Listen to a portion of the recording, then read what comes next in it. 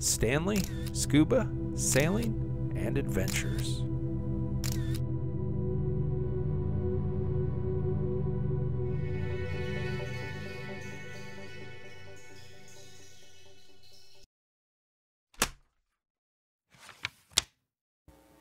Scuba diving, the British Virgin Islands, dive site, Rhone Reef. Rhone Reef dive site is located east of Black Rock Point, Lee Bay, Salt Island. The dive site is described as having a maximum depth of 50 feet. The minimum recommended skill level for this dive site is open water diver certification. The dive site's pretty well protected from the weather with exposure only to weather patterns from the east.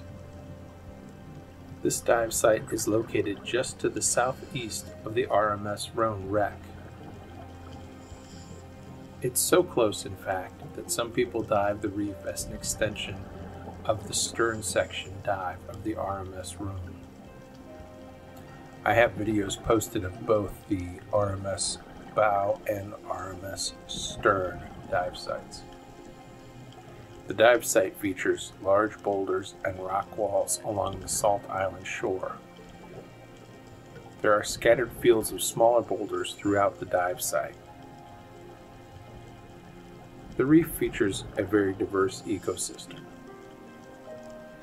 Like the RMS Rhone wreck dive sites, currents may be an issue here too at times. This video was recorded over the course of a single tank dive.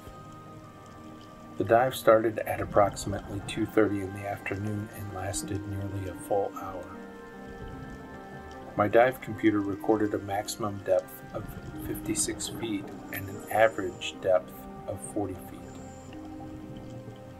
The water temperature was very comfortable at 86 degrees Fahrenheit.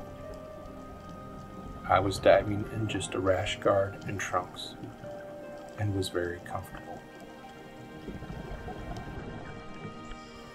The visibility was not spectacular, but was about average for what I'd seen so far on this dive trip. The reef appeared healthy. There were quite a few smaller fish, and not as many medium to large size fish. That's just my opinion and observation on this particular dive.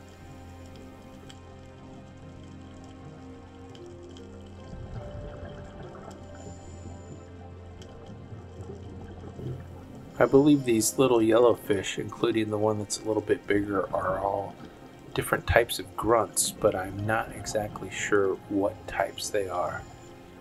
If you know or have a guess, please leave it in the comments. I'd love to know. The one with the black line by its eye almost looks like it could maybe be a goby of some sort. Same with these little bitty black and white fish. They're just moving too quickly for me to get a good shot of them. I'm really struggling with their identification. Again, if you know, please leave a note in the comment and let me know what the name is. I feel like I'm really struggling with my fish identification overall today.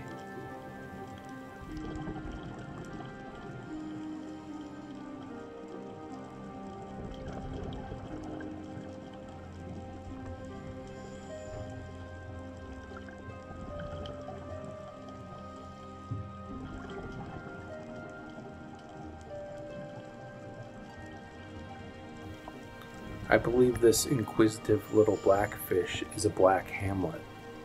They range in size from 3 to 4.5 inches with a maximum size of about 6 inches. They're usually found in depths between 10 and 40 feet. You can see what I meant by inquisitive, he kept coming back for another look.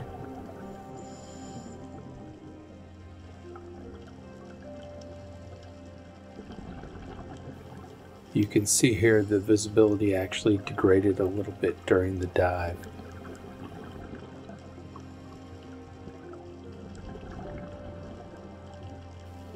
There was an increase in the particulate in the water and you can see it pretty clearly here in the video That made photography fairly difficult, especially when you consider backscatter.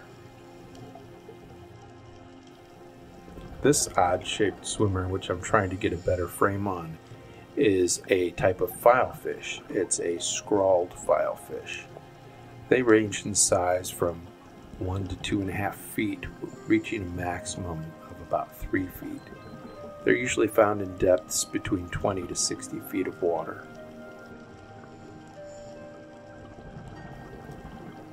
Sometimes I'll trim out quite a bit of footage and just leave the part where I actually get the, the good frame. But you see here, it usually takes a few minutes with a fish, sometimes quite a bit longer, sometimes it never happens, to get the right angle, to get a good view and capture some of the colors. You'll see here in a minute as he's turning back around. You can really see the colors and the lines and the dots on this fish. Right there, beautiful color a little too much particulate in the water for any good photographs, but I really like this video. You can see all the different parts of the fish there in the color.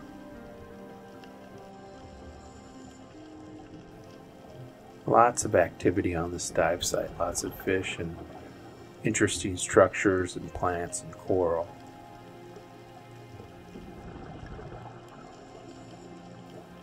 I really enjoyed this dive site I'd be happy to dive it again someday.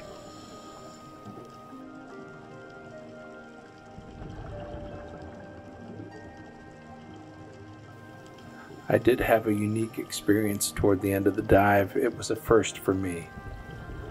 You'll have to wait and see. Here's some type of box or cowfish. I think it might be a honeycomb cowfish, but uh, couldn't get a good shot and he tucked back into the rocks there.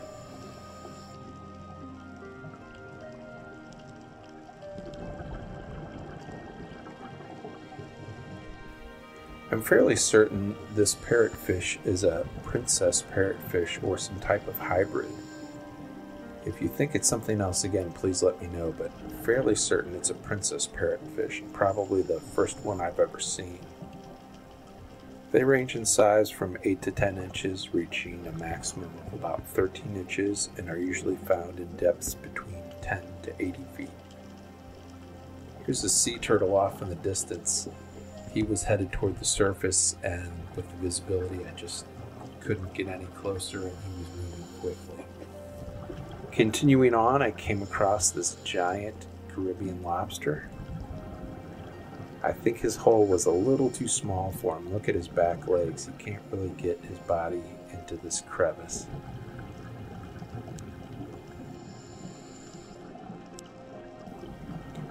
He was in a spot where he really couldn't go anywhere, and I could get close enough that I could get a couple good pictures. They'd be extreme close ups, but a couple good pictures.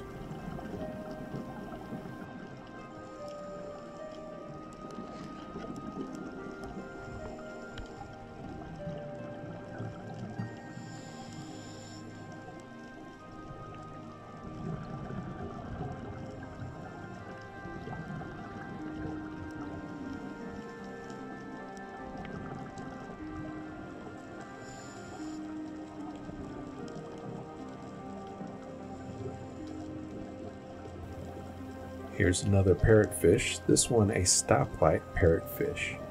Love the colors on these. Didn't stay around very long. Here's the thing that I said was a surprise and unique for me. I had never seen an octopus during the day, but here he was, just sitting there.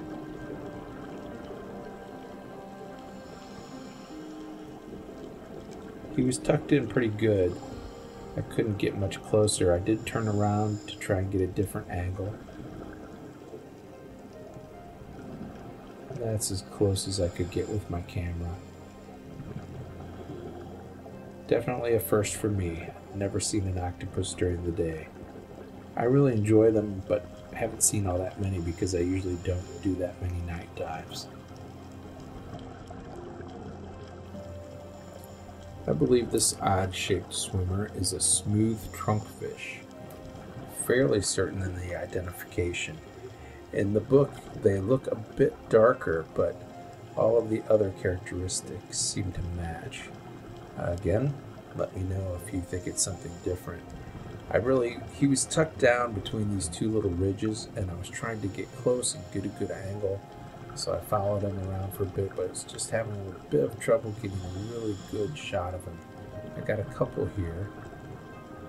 Anyway, the smooth trunk fish ranges in size from 6 to 10 inches, reaching a maximum of about a foot in length. They're most commonly found in water depths between 15 and 80 feet. Definitely an odd shaped swimmer.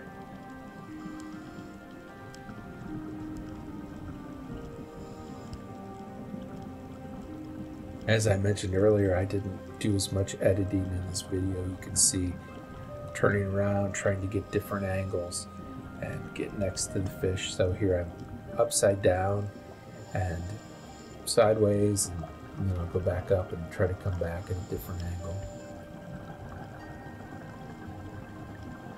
The fish doesn't seem overly concerned with my presence.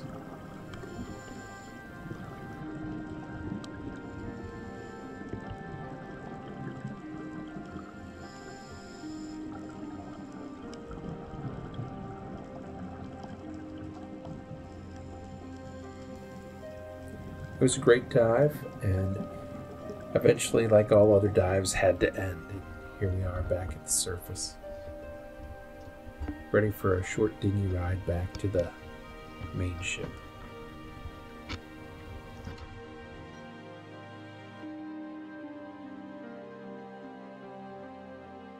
Thanks for watching. Please don't forget to subscribe, like, and comment.